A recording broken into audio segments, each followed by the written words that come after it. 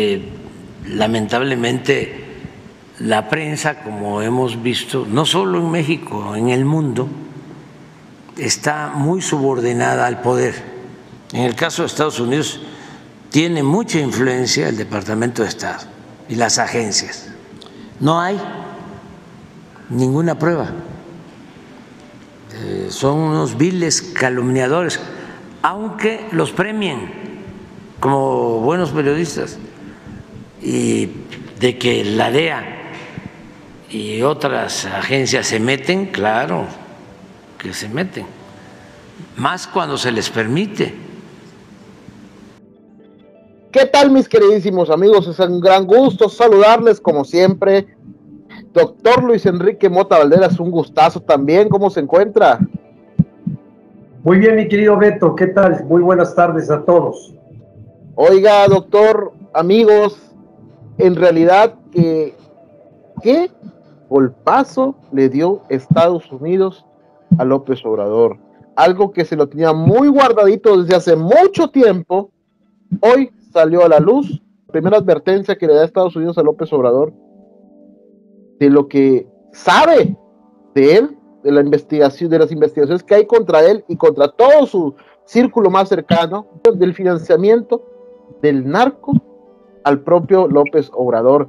Ese que tanto dice que es honesto, que no es corrupto, que no es narcogobierno, que toda la derecha y los conservadores están en contra de él porque es un buen gobierno. Y por eso es que el país hoy está hasta el gorro de violencia. Porque ahí, como lo dijo la investigación de Estados Unidos, doctor, ese fue el apoyo que le dio el narco a López Obrador a cambio de que lo dejaran hacer lo que quisieran los criminales, doctor. Y doctor, nunca había visto a un presidente tan agüitado, tan enojado, como lo vi hoy a López Obrador, tras revelar esta investigación de Estados Unidos, doctor. Pues quiero decirte, Beto, que aquí en este, en este canal informativo, nosotros hemos sostenido durante mucho tiempo la complicidad y esa sociedad que tiene López Obrador y la cuarta transformación con los grupos delincuenciales en el país. Pero aquí hay varias cosas muy graves. Él sabe perfectamente bien que ponerse en una situación tratando de hacerle una afrenta a los Estados Unidos de Norteamérica en este momento en que también tienen un problema enorme con Donald Trump, el gobierno de presidente Biden, y la situación que tiene México frente, efectivamente, como lo mencionaste, a las investigaciones de sus tres hijos, donde está la DEA, donde está el FBI y donde está el Departamento del Tesoro y varios de sus colaboradores que van a hacerse público muy pronto. Pero yo lo que no entiendo son dos cosas, básicamente. Una es que no puede seguirle mintiendo al pueblo de México, ni tampoco puede seguir mintiendo de esa manera porque aunque él lo desestime, los medios de comunicación de orden internacional, que la mayor parte de ellos están en Washington o están en Nueva York, están fiscalizando lo que sucede en México. Por si no ha entendido López Obrador, nosotros somos el vecino comercial y el vecino político más importante. Y la otra parte que no entiendo es que si este país vive de las remesas de nuestros hermanos que se van obligados por la necesidad a trabajar en Estados Unidos, pues le pega de patadas al pesebre.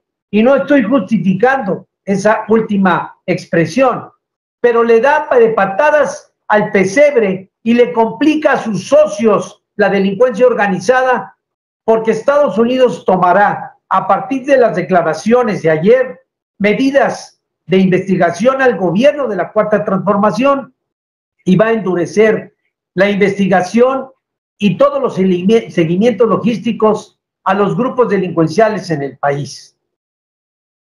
Doctor, López Obrador dice que estas son calumnias por parte de la DEA, del gobierno de los Estados Unidos, de los medios de Estados Unidos, que porque es una campaña en su contra por tiempo electoral. A ver, en Estados Unidos todos sabemos, doctor, que cuando sale una, una publicación como esta, una acusación tan grave como esta, es porque hay pruebas, es porque el propio propias agencias de seguridad de Estados Unidos lo dan a conocer. No es un chisme, no es que tal vez un rumor, no. Es porque ahí mismo en el reportaje afirma que ya el Departamento de Justicia tiene las pruebas, grabaciones, eh, testigos. López Obrador trata de desestimar una vez más esto. Dice que ahora toda la prensa y todos los medios del mundo están contra él. Hágame usted el favor, doctor.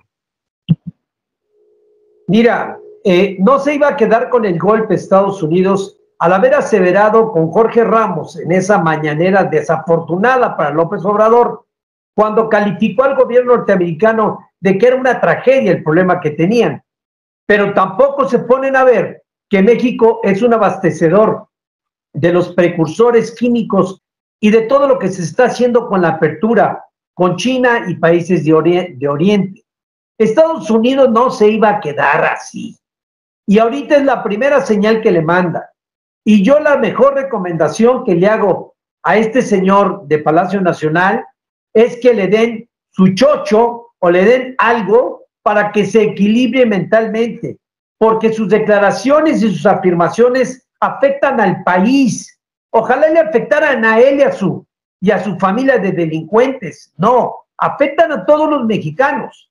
Y también hoy decirle al gobierno norteamericano que son falsarios y que le están, le están haciendo una campaña política y sostener que el gobierno norteamericano y se dirige al presidente y se dirige a Alejandro Mayorkas, el de Seguridad Interior, y a todo el equipo más importante de la Casa Blanca, al decirle falsarios y además al asegurar que hay una campaña de todos los medios del mundo mundial que están atentos a las estupideces y a los desaciertos de un hombre que ya, si era mala la decisión en su principio de gobierno, hoy frente al desequilibrio y a, a esa situación donde, insistimos, él ya no está en sus plenas facultades mentales, con todas las telarañas que trae para poder gobernar, porque está perjudicando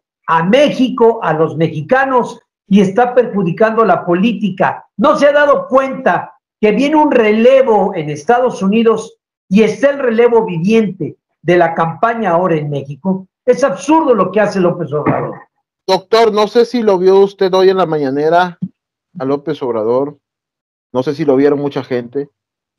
Se ve un hombre completamente agüitado, desorientado, que no cree ni lo que está pasando, que no sabe ni qué decir.